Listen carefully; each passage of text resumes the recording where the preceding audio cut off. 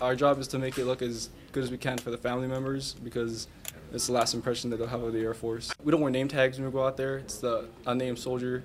We're all equals.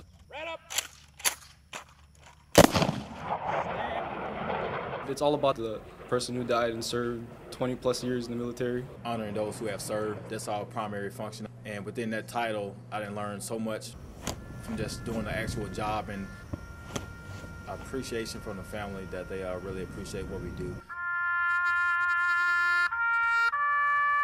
Once you do the flag folding and the family hear the 21 gun salute and the playing of taps. Been out here four years, I still get a lump, in my throat when I hear taps played. It's pretty hard sometimes when we hand off the flags. They'll be crying and we've had hugs and they're always grateful. We always get thanks and it's an honorable job. When taps is being played, And when you look into that person's eyes and present them with that flag, the next kin, that right there is really a, the emotional point. That will have to be probably the most difficult time.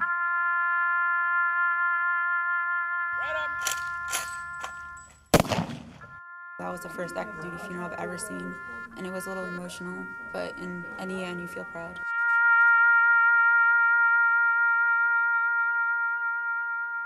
I think it means a lot to them. We're probably going to be the last ones they're going to see. We're providing them their honors, their last salute for their time in service. It's just a very emotional ceremony.